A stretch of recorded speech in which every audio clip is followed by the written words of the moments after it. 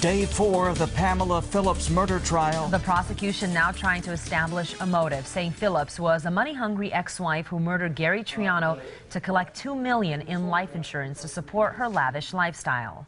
Nine on your sides, Valerie Cavazos has been in court today and joins us now.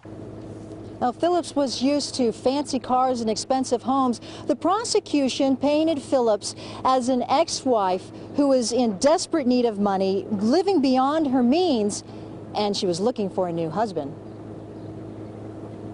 Phillips moved to this duplex in Aspen and hired this man, Kevin McDonald, as a live-in caretaker for her two children.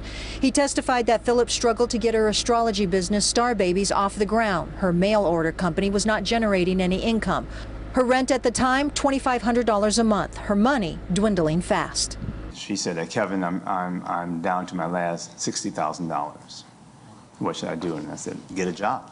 The defense said Phillips did get a job later.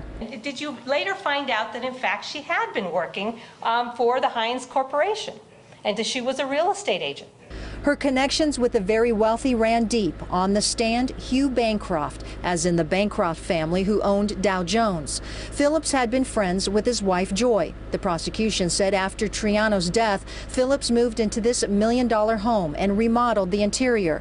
Bancroft testified that he loaned her money. You loaned her $60,000, your wife was paying premiums, and you were co-signing loans, and Ms. Phillips was looking to, to marry rich. Yeah. Now, Phillips was not looking to marry Bancroft. They were just friends. Uh, McDonald also testified that Phillips was also looking for a new rich husband. Once again, the prosecution trying to establish a motive for murder. Reporting from downtown, Valerie Cavazos, KGUN 9 on your side.